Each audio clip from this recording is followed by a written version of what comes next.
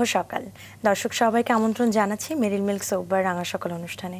সুন্দর একটি দিনের প্রত্যাশা নিয়ে আমরা আজকে রাঙা সকালের আয়োজন শুরু করছি আর আমাদের রাঙা সকাল সুন্দর হয়ে ওঠে আমন্ত্রিত অতিথিদের মাধ্যমে। আজও আমাদের রাঙা সকালে দুজন সফল অতিথি আমাদের সঙ্গে থাকবে। আশা করি দু ঘণ্টা জুড়ে আপনারা আমাদের সঙ্গে থাকবেন। পুরো দু ঘণ্টা জুড়ে আমরাও আপনাদের সঙ্গে থাকছি। সঙ্গে আছি আমি লাবণ্য।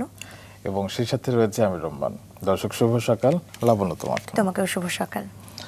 আজকে কিন্তু আমরা একটু বেশি ভালো আছি। কি বলো? কারণ দর্শক আজ আমরা এখন যেখানে বসে আছি যে বাংলাদেশে বসে আছে যাদের কারণে আমরা বাংলাদেশ পেয়েছি তাদেরই একজনকে আজকে আমরা প্রথম ঘন্টায় আমন্ত্রণ জানিয়েছি এবং আমাদের সৌভাগ্য হবে তার সাথে পুরো ঘণ্টা কাটাবার। তিনি আর কেউ নন বীর মুক্তিযোদ্ধা সুবেদার মেজর সাইদুর রহমান। দর্শক তার কাছ থেকে অবশ্যই আমরা মুক্তিযুদ্ধের কথা শুনব তবে তার ব্যক্তিগত জীবনের গল্প শুনব। চলুন আমরা তাকে স্বাগত জানাই। শুভ সকাল। কেমন আছেন? আলহামদুলিল্লাহ ভালো আছে। আমরা দর্শকদের ইতিমধ্যে জানিয়ে দিয়েছে যে আজকের পুরো ঘন্টাটি আজকে আমাদের অন্যরকম কাটবে কারণ মুক্তিযুদ্ধ তো আমরা দেখিনি তবে আপনাদের দেখছি আপনাদের কাছ থেকে আমরা সেই সময়ের কথা শুনে আমরা অনুপ্রাণিত হতে চাই। সেগুলো তো অবশ্যই শুনব তবে তার আগে একটু আপনার গল্প শুনে নেই। আমরা যতদূর জানি যে আপনার জন্ম হচ্ছে গিয়ে চুয়াডাঙ্গা জেলার আলমডাঙ্গা উপজেলার খোসভিলা গ্রামে। কেমন ছিল ছোটবেলা? ছোটবেলা আমি প্রথমে আমার দুই বোনের পরে আমি ছেলে হই। আমার মা বাবার খুব আদরের সন্তান ছিলাম। আচ্ছা। এবং মা বাবা খুব আদর করতো। বিধায় একটু ডাইন পিটিয়ে ছিলাম। হুম হুম হুম। এবং আমার শৈশব জীবন ঘোষবিলা প্রাইমারি স্কুল। প্রাইমারিতে ফাইভে সিক্স উঠলাম। সিক্স ওঠার পরে ক্লাস এইট পর্যন্ত আমি লেখাপড়া করি। সে সময় আমি দেখছি দেশ নিয়ে অনেক এটা ছিনিমিনি হইতেছে পাকিস্তানরা। আমার মনে আবেগ জাগলো যে আমি কোনো একটা বাহিনীতে যোগদান করি এটা কত বছর বয়স? সে সময় আর বয়স ছিল বিশ বছর। স্যার বিশ বছরের কথা তো অনেক পরে শুনব। আমরা একটু ছোটবেলায় থাকি। ও ছোটবেলায় ফুটবল খেলা করতাম। আচ্ছা। আচ্ছা। এবং গ্রামে হত দরিদ্র এবং বড় বড় প্রতাপশালী গরিব অত্যাচার করলে সেখানে আমি দাঁড়িয়ে যেতাম এবং তাদের সাথে যোগ দিয়ে আমি অনেক বড় বড় প্রভাবশালী তাদেরও আমি মারপিট করছি। স্যার আপনি কি এখনও চুয়াডাঙ্গা থাকেন? হ্যাঁ চুয়াডাঙ্গা আমি থাকি। তো ছোটবেলার চুয়াডাঙ্গাকে কেমন দেখেছেন? এখন যে আপনারা চুয়াডাঙ্গায় থাকছেন হ্যাঁ। কোনো পার্থক্য দেখছেন কিনা? চুয়াডাঙ্গা সে সময় রাস্তাঘাট ছিল না। মানুষ গরুর গাড়ি যেত রাস্তায় যেতে পারতো না। সেই গাড়ির চাকাগুলা ভেঙে পড়ে যেত। জায়গায় জায়গায় দেখছি মোষের গাড়ি চাকা ভেঙে পড়ে আছে, সেই রাস্তাঘাট ছিল না। সেই সময় আমরা আমরা ওই রাস্তায় চলছি। এখন ইনশাল্লাহ রাস্তা ভালো হয়ে গেছে, দেশ ভালো হয়ে গেছে এবং দেশের মানুষগুলা সুন্দরভাবে চলতে পারতেছে এবং আমি অবসর যাওয়ার পরে আমি প্রধানমন্ত্রী মানে প্রধানমন্ত্রী অনেক কিছু বলছি। রাস্তাঘাট আমার নামও হয়ে গেছে পাঁচ কিলো। আরও রাস্তা হইতেছে ইনশাল্লাহ। চমৎকার। আরও হবে ইনশাল্লাহ। স্যার এই যে আপনার কথাগুলো বলছিলেন আমরা কিছু তথ্য জানি না আবার কিছু তথ্য জানি। যেসব তথ্য আমরা জানি সেগুলো একটু দর্শকদের জানিয়ে আসি যে আমরা কার সাথে কথা বলছি। হ্যাঁ, হ্যাঁ. তারপর আবার গল্প করব লাবণ্য কি বলো? নিশ্চয়ই। সুবেদার মেজর সাইদুর রহমান একজন বীর মুক্তিযোদ্ধা যিনি আজকে আমাদের সঙ্গে আছেন।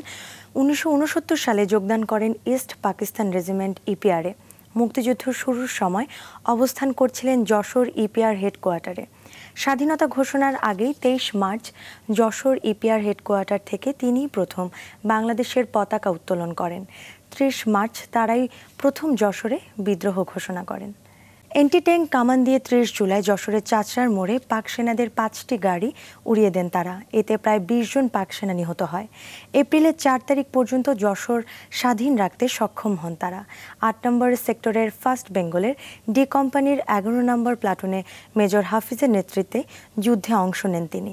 তার উল্লেখযোগ্য অপারেশনের মধ্যে যশোর চাচড়ার মোড় অপারেশন, নড়াইল অপারেশন কামারখালী ঘাট অপারেশন, ফরিদপুরের বোয়ালমারি অপারেশন, সাতখাড়ির ভোমরা অপারেশন, সিলেট অপারেশন অন্যতম। তার জীবনের সবচেয়ে গুরুত্বপূর্ণ ও বড় অপারেশন হচ্ছে জামালপুরের ধানিয়া কামারপুর অপারেশন।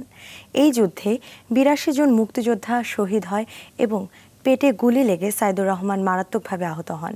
আসামের গুয়াহাটিতে চিকিৎসা নিয়ে সুস্থ হয়ে ফিরে এসে আবার যুদ্ধে অংশ নেন তিনি। মুক্তিযুদ্ধে বীরত্বপূর্ণ অবদানের জন্য বাংলাদেশ সরকার তাকে বীর প্রতীক খেতাবে ভূষিত করে।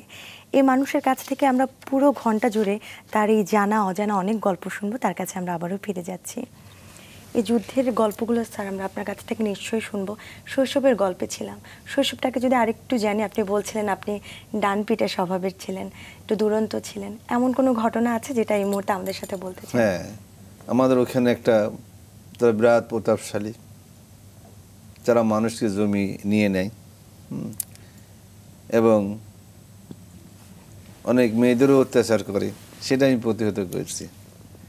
সেই প্রতিহতর ব্যাপারে আমার কি পুলিশও খুব তাড়াই তারপরে আমি চিন্তা করলাম যে এখানে থাকা যাবে না। আমার চারদিক থেকে আক্রমণ আসতেছে।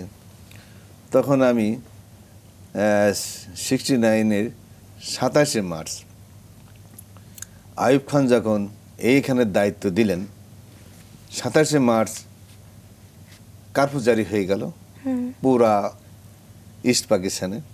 ওই দিনকে আমি ভর্তি হই কিন্তু চুয়াডাঙ্গাতে। চুয়াডাঙ্গাতে আমি সাতাশে মার্চ ভর্তি হই। এপ্রিল মাসের চার তারিখে আমার জয়েন্ট দিলেন। আমার মা বাপকে আমি বলে নাই যে আমি পেয়ারে ভর্তি হয়েছি। চোরের পালাই যে আমি ভর্তি হয়েছি। আমার মা খুব কাঁদছে। হুম খুব কাঁদছে।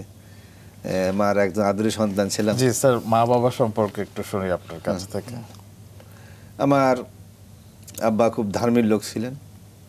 উনি মারা গেছেন অনেক আগে। আমার মাও খুব ধার্মিক ছিলেন। আমাকে খুব ভালোবাসতেন আমার জন্য দোয়া করতেন। সেই মাপের দোয়াতে আজকে এত আল্লাহ আমার সম্মান দিছে। ক ভাই বোন ছিলেন? আমরা পাঁচ বোন পাঁচ ভাই। আপনার অবস্থান? আমার দুই তিন আমার দুই বোনের পরে আমি একজন তিন। আচ্ছা। এই জন্য মা বাবা খুব ভালোবাসতেন খুব আদর করতেন। একটি সন্তান ছিলাম বিদায়। তো বলতে পারি যৌথ পরিবার আপনারা অনেকজন পরিবারে ছিলেন। কেমন ছিল পরিবারের সবার মধ্যে একটা বন্ধন কেমন হ্যাঁ সবাই খুব মহাব্বত ছিল। সবাইকে খুব ভালোবেসত ডাইন পিটি হিসাবে। এবং মা আমার জন্য অনেক কথাও শুনছে মাস্টারদের কাছে। এবং অনেক সময় মাস্টারের সাথে তারা যদি অন্যায় কিছু করতো আমি প্রতিবাদ করতাম। হুম এই অনেক সময় আমাকে সাসপেন্ডও করছে। মানে ছোটবেলা থেকে আপনার একটা প্রতিবাদী কণ্ঠস্বর ছিল। এই বিষয়টা কি আপনার বাবার থেকে পেয়েছেন? আমার মা বাবা বোঝাইতো এভাবে চলো এভাবে চলো। আমি ওই সময় স্বীকার করতাম যে আর এগুলো করব না। কিন্তু পরক্ষণে আবার ভুলে যেতাম। মা আমার জন্য আমি মারতো হেডমাস্টার আমার চাচা ছিলেন হুম আমি আমাদের ওখানে বিরাট একটা ক্যানাল ছিল চলে যেতাম। আমার মা কিন্তু একটা সুন্দর ওই ডাল ভেজে আমার জন্য রেখে দিত নিয়ে এসে খাওয়াইতো হুম? পড়াশোনা কেমন ছিল? হ্যাঁ পড়াশোনা আমি সারা বছর পড়তাম। না পরীক্ষা পরীক্ষার পনেরো দিন আগে খুব পড়তাম হুম। আচ্ছা। পরীক্ষা পাশ করে যেতাম। হেডমাস্টারের কথা বলছিলেন কাদের কাদের কাছে পড়াশোনা করেছেন আমি শিক্ষকদের কথা যদি একটু বলেন। যতটুকু মনে আছে। ইয়ে প্রাইমারি হেডমাস্টার আনিসুর রহমান মীর আনিসুর রহমান খুব ভালো ইয়ে ছিলেন হুম? তারপরে আমার এক চাষা আব্দুল সাত্তার উনি ওই স্কুলের মাস্টার ছিলেন উনি খুব মারতেন আমার শাসন করতেন। পরে হাই স্কুলে যাওয়ার পরে হেডমাস্টার বদলুর রহমান আফজাল সাহেব গেম টিচার অনেকে ছিলেন আমি ফুটবল ভালো ছিলাম মুজিবুর রহমান আমি আলমনাইতে এসে ইন্টার স্কুল খেলা করতাম ব্যাকে খেলতাম। তো পিলার যেতে দেয়নি বল চলে যায় কিন্তু পিলারকে যেতে দেয়নি আচ্ছা। আপনি ফুটবল খেলতে হ্যাঁ, অনেক ফুটবল, পছন্দ। করতেন। আচ্ছা সেই সময় খেলার সাথীদের সাথে কি এখনও আহ, যোগাযোগ আছে কারণ হ্যাঁ অনেকে যোগাযোগ আছে অনেকে মারাও গেছে। রবিউল মারা গেছে ফুটবল খেলতে মারা গেছে। তারপরে অনেকেই প্রায় শেষের দিকে তারা হুম, তারা এখন খেলা টেলা করে না।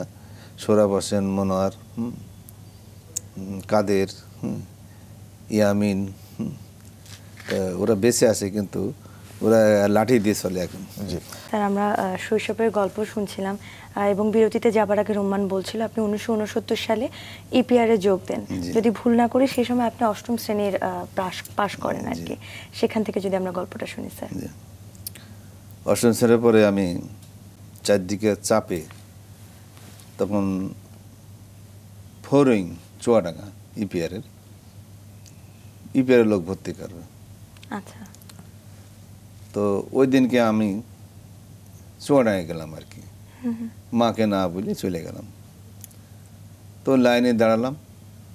দাঁড়িয়ে আমারই প্রথমে টাইল যে এ জোয়ান আচ্ছা হ্যাঁ ইসকে নেলা পড়েগে। তো সেখানে ছিল উইং কমান্ডার ছিল মেজর কাদের।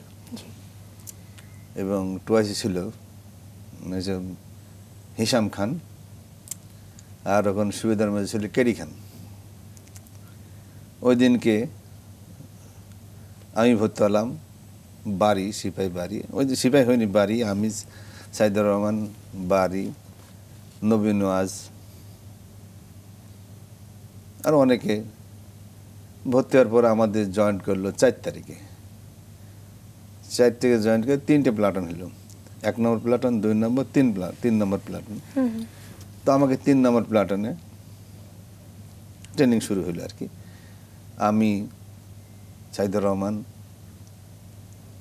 বাড়ি বেঁচে নাই নবীনাজ বেঁচে নাই, আজিজ বেঁচে আছে আয়ুব তারপরে ফজলু, আমরা এই তিন নম্বর প্ল্যান ট্রেনিং করলাম। তিন নম্বর প্ল্যাটনে আজম খান আমার গুলবাজ খান উস্তাদ পাইবুল উস্তাদ। আর একজন বাঙালি ছিল আতিয়ার রহমান। উনি শহীদ হয়েছেন যুদ্ধের সময়। আর নাইফুদ্দার রাজ্জাক সাহেব ছিল আমাদের ট্রেনিংয়ের দায়িত্বে। আর বাঙালি ছিল একজন নূর ইসলাম হাবিলদার। সে মধ্যে ছিল আমাদের ট্রেনিং সেন্টারের। স্যার সে সময় বাঙালিদের প্রতি কেমন আচরণ করা হতো সেখানে? আমি অতটা বুঝতে আসতে বুঝতে পারলাম যে আজম খান পাইপ গৌল গুলবাজ খান ফরিদ খান এরা ওই দেশে সেনাবাহিনীতে চাকরি করছিল। সেনাবাহিনী চাকরি করার পর ওই দেশে চাকরি করার পরে অবসর হওয়ার পর ওই ব্যক্তি আবার ইপারেকে নিয়ে ভর্তি করছে। তা আমার ভিতরে জাগলো এটা বৈষম্য বিরাট বৈষম্য। ওই দেশে সেনাবাহিনী চাকরি করার পরও ওই দেশে পেনশন পেয়ে পাইতেছে। আবার এই দেশে আবার নতুন করে ভর্তি এখানে ওর বেতন পাইতেছে। আমার ব্রেনে ঢুকলো। ক্লাস এইট পাস হলে আমাকে ব্রেন ভালো ছিল কিন্তু আমার মনে মনে জাগলে কিন্তু ওই দেশে চাকরি করার পর অবসর। অবসর মানে অলরেডি কমপ্লিট বাড়ি থাকবে। কিন্তু ওই দেশের লোক আবার এইখানে এসে ভর্তি করছে। এরা একে প্রমোশন দিয়ে প্রমোশন দিয়ে তাদেরকে হাবিলদার কেউ লেস নেয় কেউ নায়ক। কেউ নায়ক সুবিধার কেউ সুবিধার মধ্যে সবাই কিন্তু ওই দেশে চাকরি করছে কিন্তু। চাকরি করার পরও ওইখানে এসে আবার তাদেরকে চাকরি দিতেছে। তাহলে আমাদের বাঙালিদের কুটাটা শেষ করে দিছে তারা। তখন আমার ভিতর জাগলো যেটা অত্যন্ত বৈষম্য এবং আমাদের তারা ভালো চোখে দেখে না। আমাদের তারা লুটি পিটে খাওয়ার চেষ্টা করতেছে। আচ্ছা। এমনিতে ওই সময় পরিস্থিতি সবকিছু মিলিয়ে কেমন ছিল? আপনি যে সময় আসলে ভো- হ্যাঁ, সে সময় আমরা ট্রেনিং ছয় মাস আমার হলো। পর আমি একটু কিছুটা আসতে লাগল ভিতরে আমার যে ওরা বাঙালিদেরকে কোনো উচ্চ স্থানে দেবে না। এবং আমাদেরকে ওদের পায়ের নিচেই রাখবে। আমার মনে জাগলো তা বাস্তবায়ন হয়ে গেল ইনশাল্লাহ। তো আমি ছয় মাস ট্রেনিং হলো। ছয় মাস ট্রেনিং হয়ে আমার পোস্টিং হলো ফাইভিং খুলনাতে। আচ্ছা। তো আমি চলে গেলাম। আমার বাড়ি ভাই প্লাটন কমান্ডার প্লাটন লিডার ছিলেন। তারপরে ফকির আলী তারপর জয়নাল মোতাল্লেবিরা পোস্টিং চুয়াডাঙ্গা থাকল বাড়ি। উনি পরে ওয়ারেন্ট অফিসার হয়ে সেনাবাহিনীতে ছিলেন। পরে মারা গেছেন কিছুদিন আগে। আমি ফাইভ উইং গেলাম আর কি। ফাইভ উইং আমার সি কোম্পানির পোস্টিং হলো। সুবিধার খাইরুল বাসার বীর প্রতীক আমার কোম্পানি কমান্ডার হলেন। আচ্ছা। আমি আমাকে পোস্টিং করল বেনাপোল সি কোম্পানিতে। সি কোম্পানি থাকার পরে সেখানে আমার প্লাটন হাবিলদার হলো করিম, হাবিলদার করিম, চিটাগাং বাড়ি। আর নায়ক করম হোসেন ছিল two IC Punjabi. Havildar Siddiqur Rahman second in commander সেও পাঞ্জাবি। আর বাঙালি ভিতরে আমরা সেকশনে একটা সেকশনে থাকে বা এগারো জন। এগারো জনের ভরে দুইজনই পাঞ্জাবি। আর সিপাই ছিল মকমদি খান। তারপরে গুলবাজ খান। ইয়ে এরা সব পাঞ্জাবি মিদ্দাত খান। তারপরে গনসাগল এরা সিপাই। তা আমরা বাঙালি চারজন সিপাই ওরা ছয়জন সিপাই। হাবিলদার নায়ক ওই সবাই পাঞ্জাবি ওরা। হ্যাঁ মাঝে মাঝে একটু কথাবার্তা ভিন্ন হইতো। হুম তো আমার মাঝে মাঝে বলতো যে রিকুটকা বাচ্চা হুম তো আমার বারে আমার খুব ভালো লাগতো না এই কথা। তা আমি একদিন বলে ফেললাম রিকুট তোমারা হয় হুম, তো আমার বাস দিয়ে চারদিকে ঘুরে মারার চেষ্টা করলাম দৌড় মারলাম। পরে আমার এক বাঙালি দুজন ছিল, সিপাই মুজিবুর রহমান, সিপাই খলিল রহমান, এরা পরে ঠেকাইল, হুম। ঠেকানোর পরে তখন শালকোনা বিপিতে পোস্টিং তো এখন প্ল্যাটন কমান্ডার ছিল নুর ইসলাম পাঞ্জাবি। প্ল্যাটন হাওলদার ছিল আমির আলী চৌধুরী সেও পাঞ্জাবি। তো খুব মারপিট হইল, হওয়ার পরে আমি কোন পরে আমার ঝুলা পিটুলাকে সাজা দিল আর কি। চাইদুর খুব খারাপ মানতা নিয়ে কমান্ড ও পাঞ্জাবিদের কথা আর কি। তো আমার এরপর থেকে শুরু হয়ে গেল আমার আমার পর আক্রোশ। একে পা মাটির দেওয়া যাবে না। তো প্রথমে শুরু হয়ে গেল আমার এলএম এম হেভি মেশিন গান ট্রেনিংয়ে পাঠালো চুয়াডাঙ্গে আসলাম আচ্ছা। হুম। ওটা করার পর আসার পরে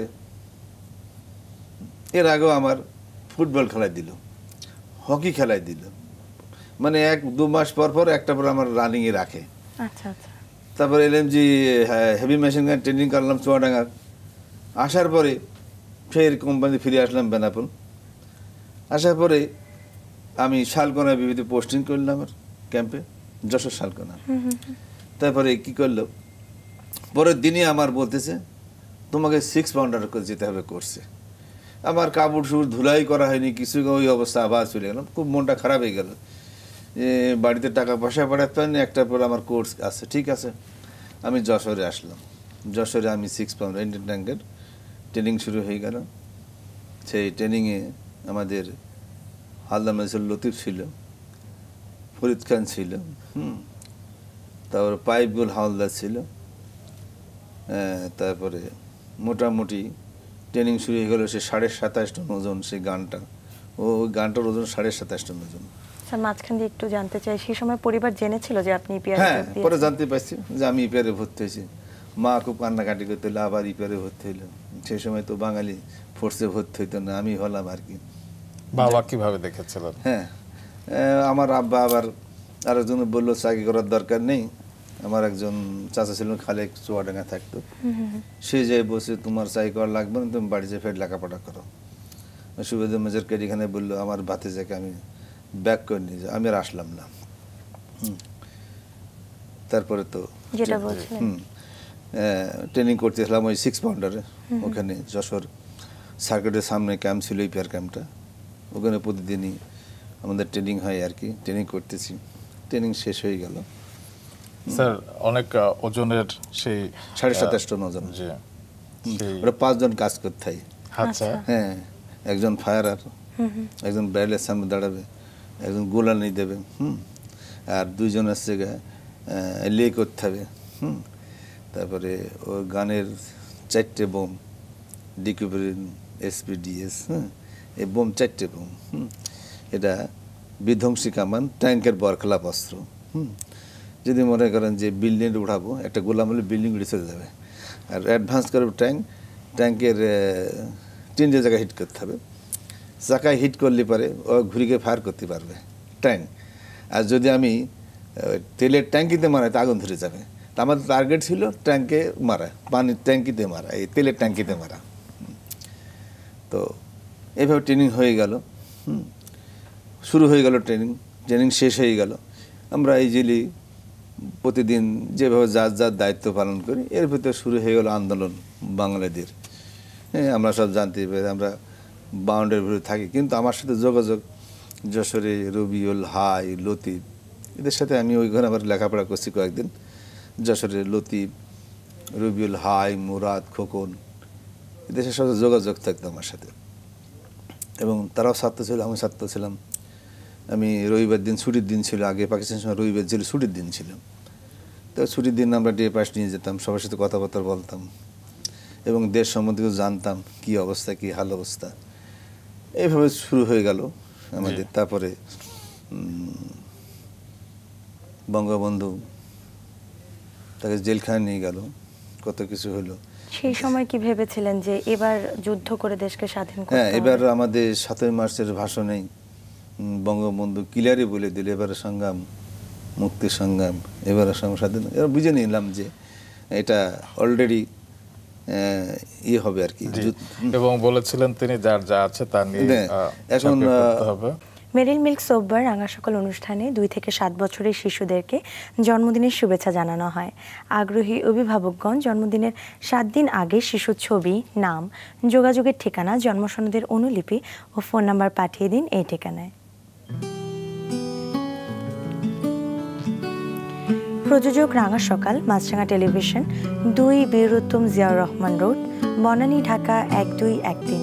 এছাড়া ইমেল করতে পারেন আর A N J A S H O K A L রাঙা সকাল অ্যাট মাছরাঙা ডট টিভি এই ঠিকানায়।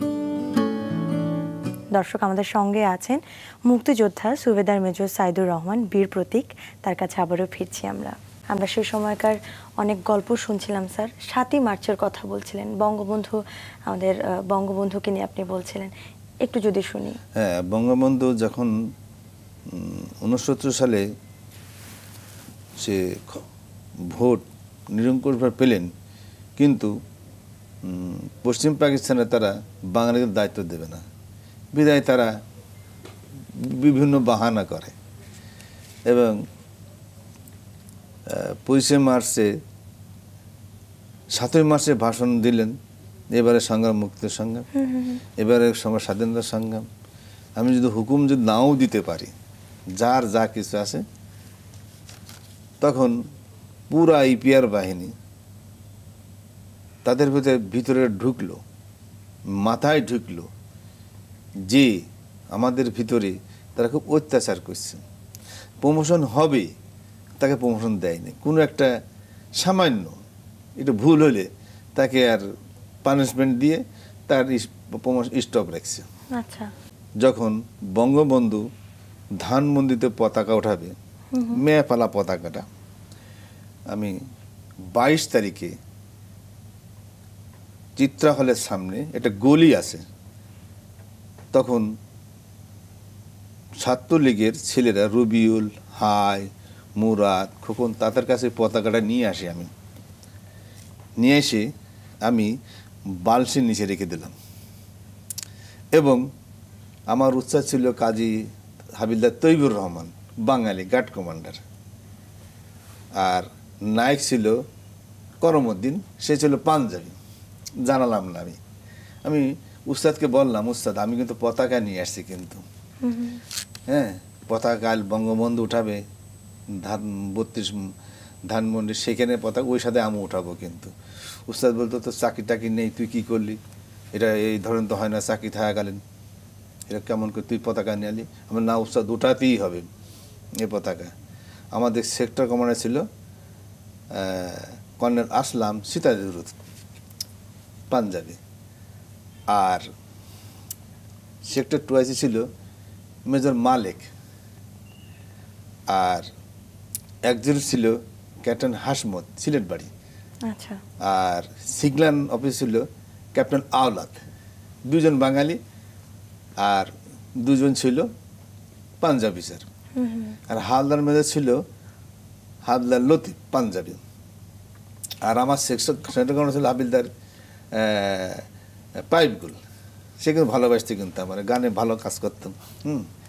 তো তখন আমি উস্তাদকে বললাম আমি আবার যশোরের ছেলেদেরকে বলে আসলাম, তোমার লাঠি সুড়ানি সব ইয়ে নিয়ে যাবা কোয়াটাকের সামনে যাবা, যে পতাকা উঠানোর জন্য।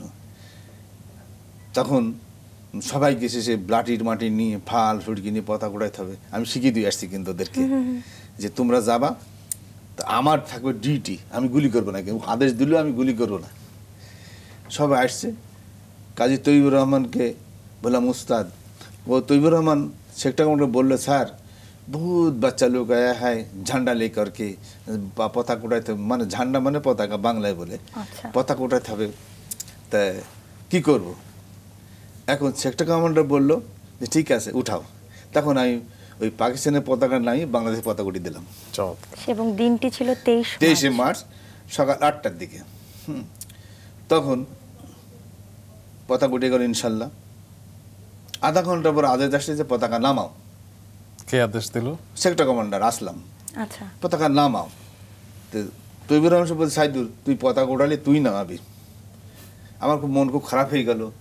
এই পতাকা ফের নামাত বলতেছে। আমি কি করলাম? পতাকাটা নামিয়ে ওই পতাকাটা আবার সাইডে একটা ভলি খেলতাম একটা সুবরি গাছ লাগানো ছিল। ওর মাথায় লাগিয়ে রেখে দিলাম আমি।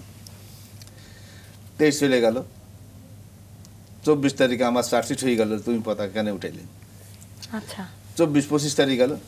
পঁচিশ তারিখে যখন আওয়ামী নিষিদ্ধ ঘোষণা করল তখন পাঞ্জাবিরা সাতাইশ বিরিশ ছিল যশোরে। ওরা টহল দেওয়া শুরু হইল নিষিদ্ধ হইল পঁচিশে মার্চ। সে কাল রাত্রে হ্যাঁ কাল রাত্রি তখন কিন্তু আমরা যুদ্ধে যোগ হয়নি কিন্তু। পঁচিশে মার্চ সকালবেলা মেয়েদেরকে ধরে নিয়ে যেতেছে। ওই সেক্টরের সামনে দিয়ে যশোরে। তখন বাঙালি মেয়েরা বলতেছে, ইপিআর ভাই আমাদের বাঁচাও। আমার আবার ডিউটি আমি দিছি উপর রাইফেল তো ঢাম ধাম গুলি করে দিছি। হ্যাঁ কারণ এখানে লাগছে, এখানে এখানে লাগছে। তারপর ওই দিন ছিল গার্ড কমান্ডার ছিল কাজী তৈবুর রহমান।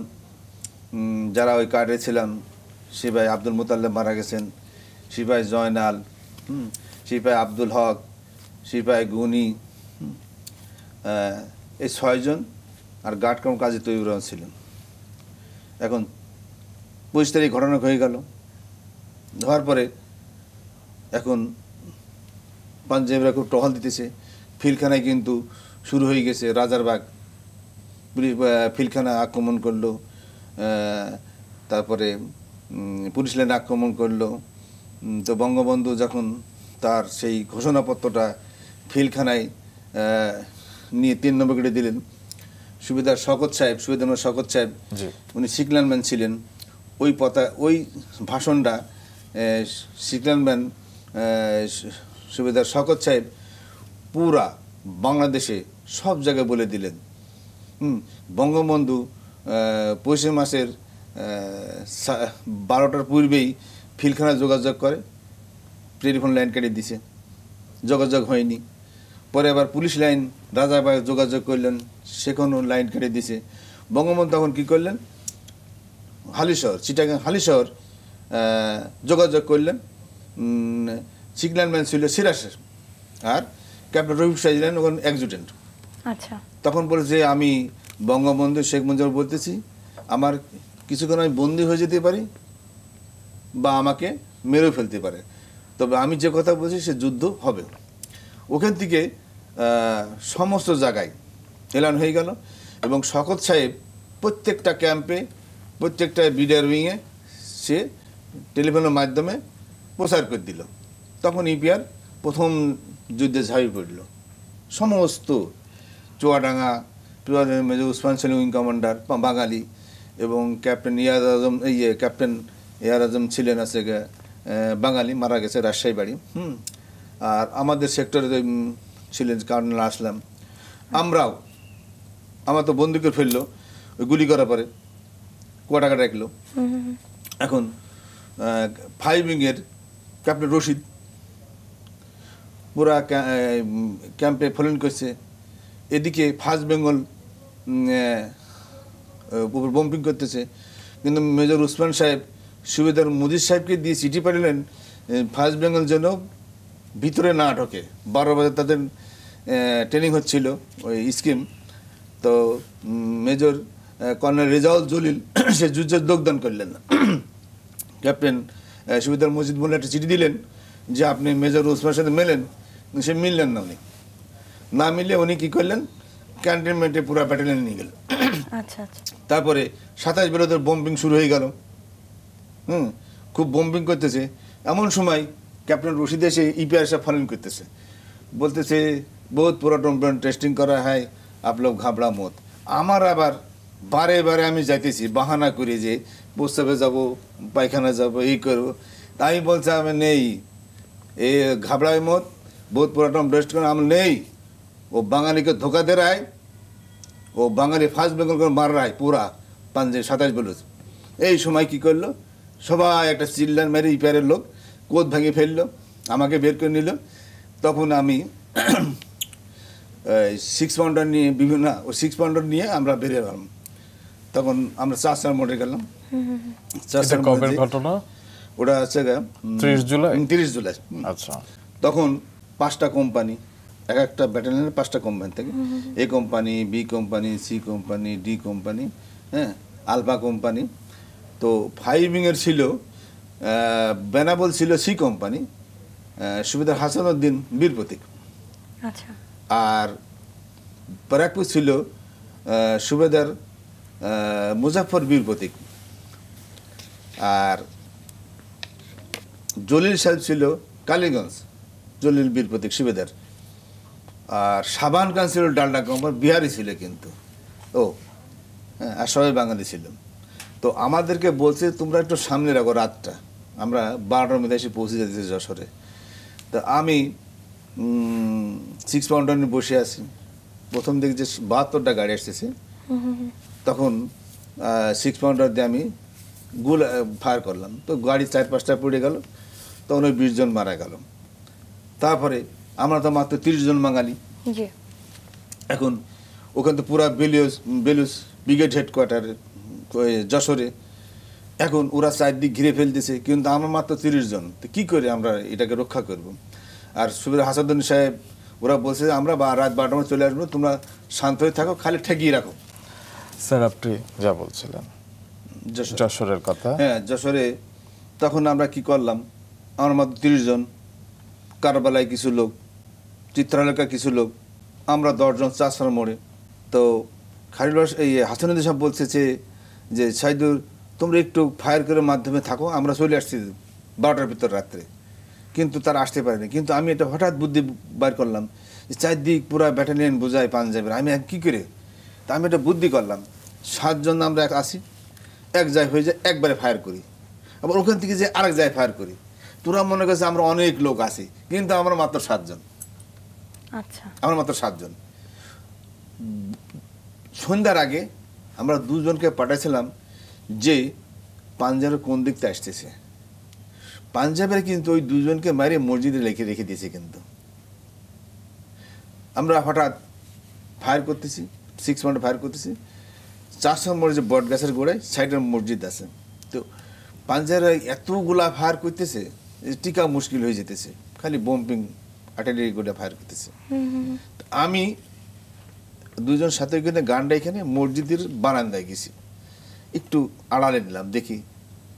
কিন্তু আমি দেখি যে একটা উঁচু জায়গা আছে, একটু বসি বাস্তা দিয়ে ঢাকা। আমি বসি একটু নরম নরম লাগতেছে, আইসটা আইসটা গন্ধ করতেছে।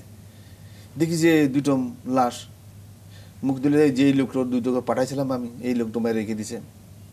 যাক, পরের দিন বারোটার আগেই কোম্পানি এসে গেল। চার্লি কোম্পানি হাসানুদ্দিন সাহেব বীর প্রতীক তার কোম্পানি আসলেন। জলিল সাহেব কোম্পানি নিয়ে এলো খুব ফায়ার শুরু তুমুল ফায়ার চারদিক দিয়ে পাঞ্জাবেরা অলরেডি এখানে ব্যাক করল। আমরা চার দিন আমাদের দখলে থাকল। হুম, তখন অত্যাধিক বম্পিং শুরু হয়ে গেল। আমাদের টিকা খুব মুশকিল হয়ে গেল। আমরা সুবিধা হাসানুদ্দিন সাহেবের সাহেব সাথে করে নড়াইল দিকে যেতে রাখলাম এটা কোন মাসে? জুলাইয়ের পরে? না মার্চ মার্চ এপ্রিল মাসে। এপ্রিল মাসে। এপ্রিল মাসে। আমরা নড়ার দিকে চলতে থাকলাম। এর ভিতরে ক্যাপ্টেন সালাউদ, এই ক্যাপ্টেন হাসমত সাহেব আর ক্যাপ্টেন আওলাদ সাহেব যুদ্ধ করলেন। ওরা প্লাই করেন আমাদের ফেলে। আমাদের কোনো নেতৃত্ব দেওয়ার কোনো লোক নেই কিন্তু। ওরা বাঙালি দুজন চলে গেল। আমরা ইপিআর কয়েকজন লোক। ক্যাপ্টেন কর্নেল আসলাম শীতল সে ক্যান্টনমেন্ট চলে গেছে। তার রানা সোলেমানকে নিয়ে। আর ড্রাইভার বাঙালি হ্যাঁ তাকে নিয়ে চলে গেল। এখন আমরা মানে কোনো নেতৃত্ব দেওয়ার লোক নেই। সুদার মালিক সাহেব, সে আমাদের নেতৃত্ব দিতে লাগল। এখন এর আগে যে ষাট জন, সত্তর জন পাঞ্জাবিদেরকে আমরা আটকে রাখছিলাম, এটা নড়াল জেলখানে রাখছিলাম। এখন হাসুদের সাহেব বলল, যখন আমরা নড়াল যে পৌঁছালাম, তখন হাসান সাহেব বলল যে, এই লোকগুলোকে রাখা যাবে না। পাঞ্জাবিদেরকে রাখা যাবে, মার, মার- মারতে হবে। তো লেসনাক রহমান, হাবিলদার ফসি, হাবিলদার আবুল, সিপাই ফারুক, বীর প্রতীক, আমাদের দায়িত্ব দিলে এদের মেরে আসবে সত্তর জনকে। তো হাবিলদার পাইপগুলোর আমার উস্তাদ ছিলেন, তার এক ছেলে, এক মেয়ে, দুই ছেলে, এক মেয়ে, আমার উস্তাদ। আমি কি করলাম? ওই জেলখান থেকে ছেড়ে দিলাম। উস্তাদের ওয়াইফ আমার মনটা ভালো লাগল না। হ্যাঁ তারপরে নায়ক করম হোসেন তার বউ আছে। আমরা সেই বর্দি চরে নিয়ে গেলাম সবাইকে। আমার ভাগে বিশ জন পড়ল। ওই ভাগে আমার উমার উস্তাদও পড়ছে, পাইপগুল। আমি লেসের রহমান উস্তাদ বললাম, আমার উস্তাদের আমি মারবো না। সে আমার পা ধরে শিখেছে আমার বারে বারে আমার মুখের দিকে চাইতেছে, আমার উস্তাদ বারে বারে আমার দিকে তাকাইতেছে। হালদার পাইপগুল আমি এখন কি করব? হ্যাঁ আমি রহমান উস্তাদ বললাম উস্তাদ আমি আমি হালদার পাইপের গাইগুলি দিতে পারব না। কেন? আমার খুবই করছে। আমাকে কাজ শিখাইছে। আমার পা ধরে, আমার হাত ধরে এই সিক্স পাউন্ডার শিখাইছে। তা আমি উস্তাদ মাফ চাই আমি আমার উস্তাদের গাইগুলি করব না আমি। আমি অন্যজনের আমার ভাগে বলে তাদেরকে মেরে দিলাম। আল্লাহ জানে, আমি এই দেশের জন্যই গুলি করছি। আল্লাহ মাফ করতে পারে। সব আল্লাহর ইচ্ছা। দেশ স্বাধীন হয়েছে, দেশ একটা পতাকা দিয়েছি। এই জন্য আমি আল্লাহর কাছে নামাজ পড়ে শুনে বলল আল্লাহ আমাকে মাফ করে দিও আমি দেশের জন্য তাদেরকে মারছি। জি স্যার আমরা অনুষ্ঠানের একদম শেষ ভাগে আছি তো।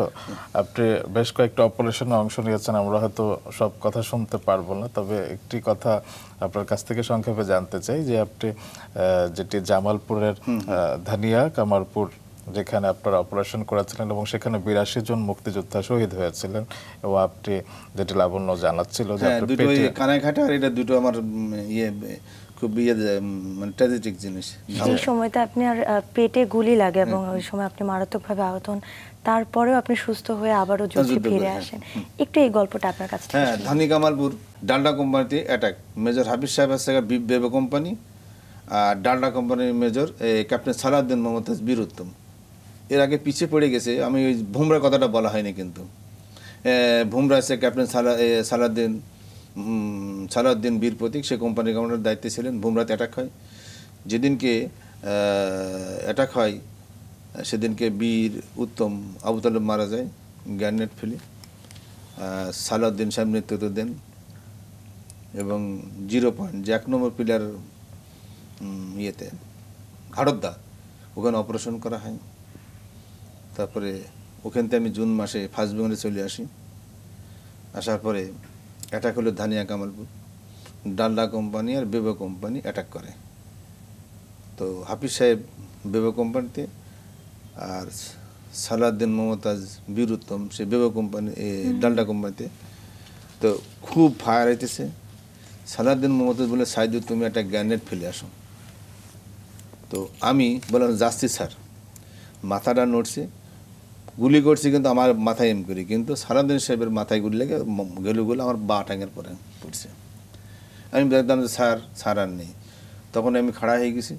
আমার সামনে বিশ জন, তিরিশ জন ঘিরে ফেলতেছে আমাকে। ঘিরে খাবার পরে, হুম, তো আমি একটা ব্রাশ মারছি এলএমজি দিয়ে। এই ব্রাশ বিশ, পঁচিশ জন পড়ছে। তারপরে আমার পেটে গুলি লাগে। আমি ফায়ার গার করতে পারিনি। আমার গ্রামে একজন বললাম যে ভাই আমি বাইসপো আমাকে নিয়ে যা। ও আমাকে নিয়ে আসেনি। সিলেট বাড়ি সিপাহি মোহাম্মদ আলী সে আমাকে টেনে নিয়ে আসে। তারপরে গুয়াহাটি আমাকে নিয়ে যায়। ওখানে এক মাস আমার ট্রিটমেন্ট করে।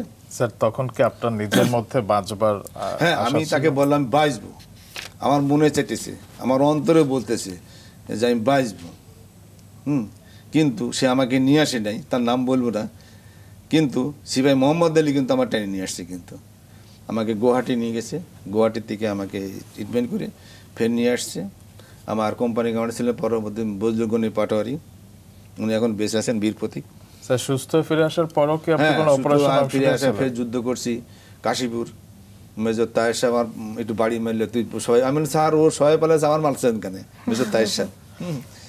তারপরে ওখান থেকে আমরা আবার সিলেট গেলাম ওই যে এমসি কলেজ এমসি কলেজে না এমসি কলেজে আমরা ইয়ে আট গ্রাম। আচ্ছা। আট গ্রাম অ্যাটাক করি।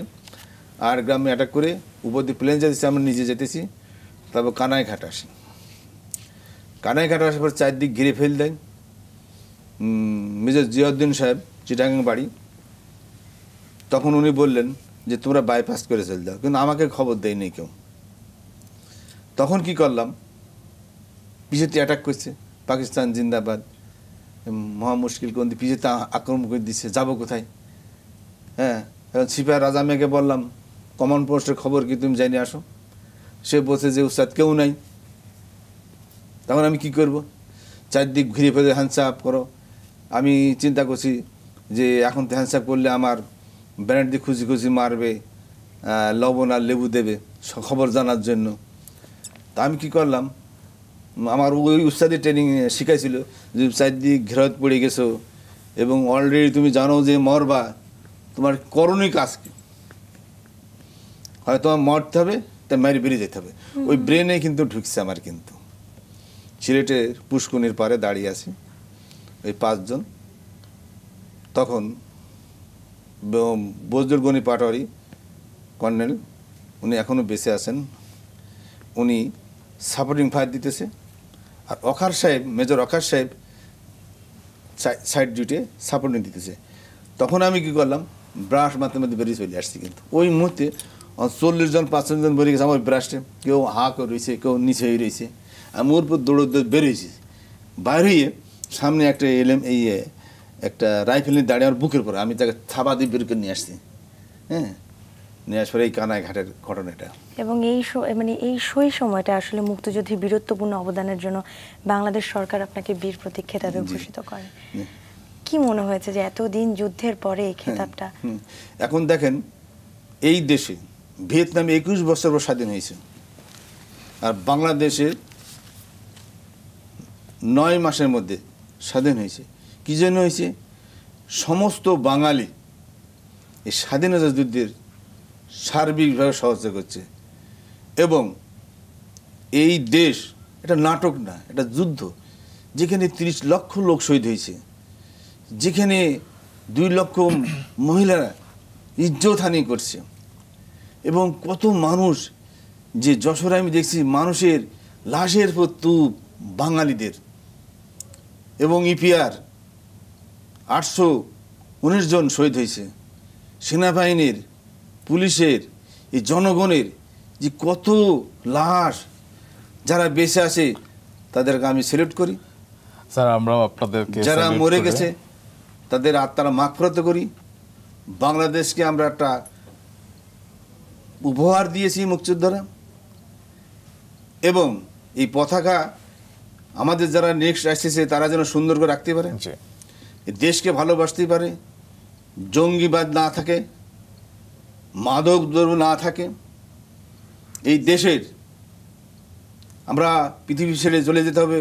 এটা সুন্দর বাংলাদেশ এই সুন্দর পতাকা বিশ্ব আজ দেখতেছে বাংলাদেশ। বিশ্ব দেখতে যা লাল পতাকা সবুজ। আর ইপিআর ভাই যারা বেঁচে আছেন তাদেরকে স্যালুট যারা বেড়ে গেছে সেনাবাহিনী অফিসার যারা আছে তাদেরকে স্যালুট এই বাংলাদেশ সর্বস্ত্র লোকের আমি স্যালুট করি। সবার দোয়া কামনা করি।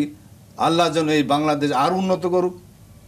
এই দেশে যারা নেতৃত্ব দিয়ে তারা আরও উন্নত করুক। স্যার, আপনার এই কথা সূত্র ধরে আমরাও আশাবাদ ব্যক্ত করছি এবং আসলে পুরো ঘণ্টা জুড়ে মুক্তিযুদ্ধের কথা শোনা সম্ভব নয়। তারপর আপনি যে আমাদেরকে সময় দিলেন, সেজন্য অনেক ধন্যবাদ। হয়তো অন্য কোনো আয়োজনে আমরা আপনার কাছ থেকে আবারও মুক্তিযুদ্ধের কথা শুনব। অনেক ধন্যবাদ, স্যার।